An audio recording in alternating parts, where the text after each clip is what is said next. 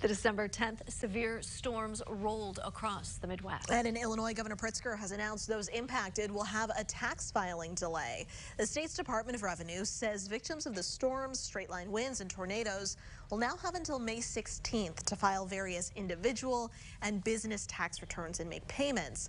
The disaster proclamation includes several central Illinois counties, including Coles, Effingham, Moultrie, and Shelby. For a complete list, you can go to our website, WCIA.com.